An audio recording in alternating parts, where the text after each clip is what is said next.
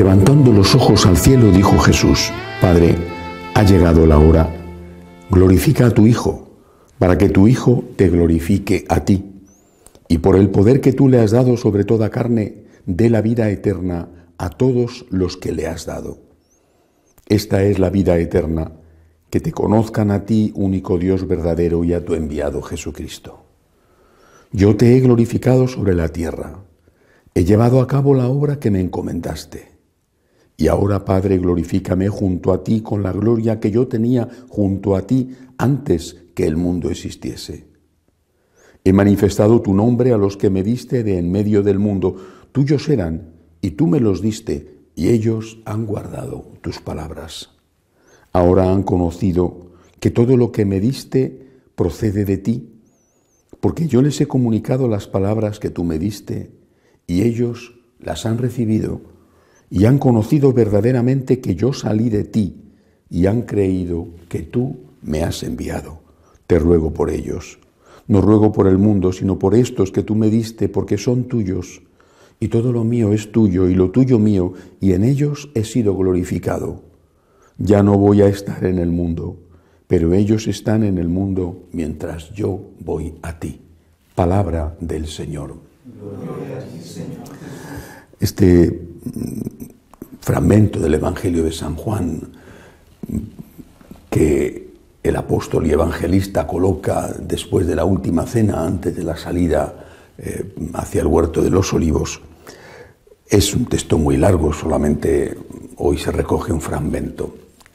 Es un desahogo, una oración de Jesús con el Padre en voz alta, para que lo escuchen aquellos que están a su lado, los once apóstoles, porque Judas en ese momento ya no estaba en el grupo, ya había salido a consumar su traición. Tiene muchísimas enseñanzas este texto. Me voy a fijar en tres de ellas. Primero dice que han conocido, habla de los, está hablándole al Padre pidiendo por sus discípulos que los proteja porque se van a quedar en el mundo, y dice de ellos que han conocido, primera cosa, creído, segunda cosa, y cumplido, tercera cosa. Conocer, creer, cumplir. ¿Qué significa conocer? Conocer significa tener una experiencia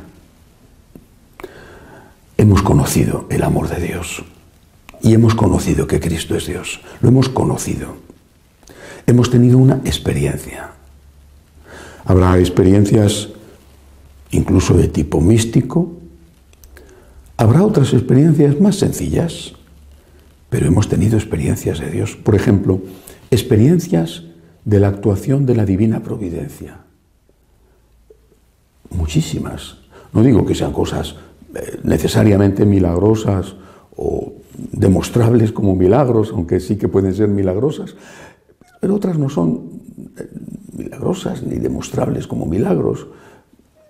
Pero nosotros sabemos que son de Dios y que Dios nos ha cuidado, lo sabemos, no tenemos ninguna duda, no son imaginaciones, ni invenciones, ni delirios de grandeza, no, sabemos, tenemos experiencia de que en muchas ocasiones la divina providencia ha estado a nuestro lado salvándonos de peligros terribles. Y repito, cada uno tendrá su historia, sin duda. Yo tengo la mía, pero estoy convencido de que cada uno tiene la suya. Algunos eh, será una historia más rica que la de otros, pero todos tenemos experiencia de Dios. A lo mejor los niños no, o los adolescentes todavía no, pero cuando van pasando los años y estás junto a Jesús, le notas, le experimentas. A veces, repito, con cosas espirituales, después de una comunión o en algún momento de oración o eh, en la naturaleza. Pero otras veces experimentas de verdad su mano protectora. Si no hubiera ocurrido esto, que incluso en ese momento no entendí, y hasta es posible que me hiciera llorar, no habría ocurrido esto otro y esto otro, que ha sido tan beneficioso para mí, tan beneficioso para los que viven conmigo. Experiencia de Dios. Pero no siempre hay experiencia. Por eso dice Jesús, han conocido y han creído. Y lo distingue. Es decir, hay momentos en que Dios te lleva en brazos, como una mamá al bebé, Hay momentos en que Dios te lleva en brazos y te sientes tan bien en brazos de la mamá.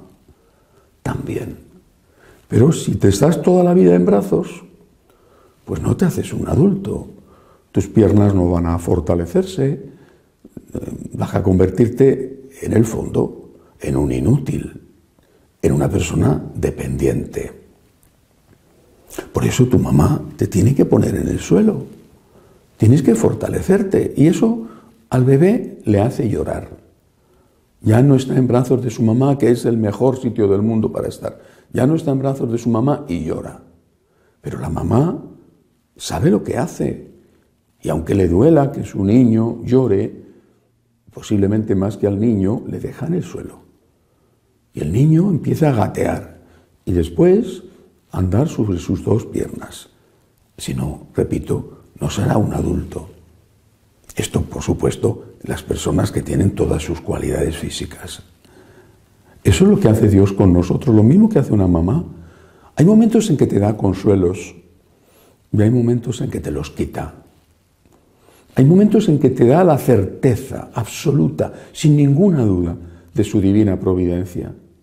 Y hay momentos en que se esconde, en que no sabes dónde está, en que no sabes por qué pasa lo que pasa, en que te parece que no te escucha, que se ha olvidado de ti, que no le importas, que no le importan los tuyos. Es decir, hay momentos en que conocemos y hay momentos en que creemos. Porque cuando estamos en brazos de la mamá no necesitamos creer en el cariño de la mamá. Pero cuando nos ha dejado en el suelo es cuando tenemos que creer en su cariño. Claro, el bebé nos hace eh, estas eh, reflexiones, pero nosotros sí. Pero cuando estamos en el suelo, cuando tenemos que creer, debemos recordar los tiempos en que estuvimos en sus brazos.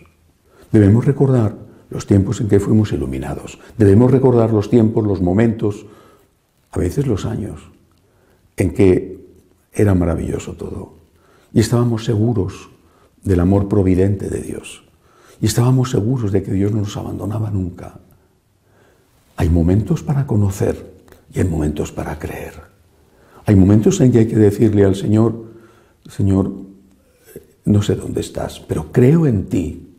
Creo en ti porque tengo memoria de tanto bueno como tú me has dado y que sé que ha venido de tu amor infinito y un amor que yo no merecía.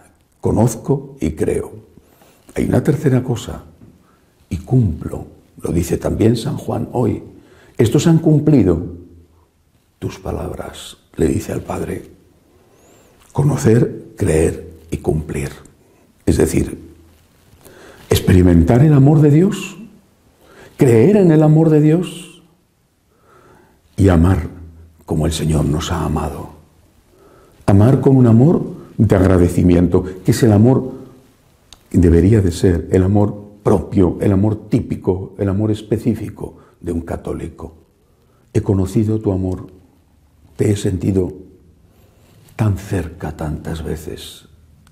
He creído en tu amor cuando estaba en la noche oscura y quiero vivir en tu amor y llevar a la práctica lo que tú me has enseñado para demostrarte mi agradecimiento. Conozco, creo y amo con la gracia de Dios. Que con esta trilogía podamos prepararnos para el encuentro definitivo con el Padre cuando Dios quiera. Que así sea.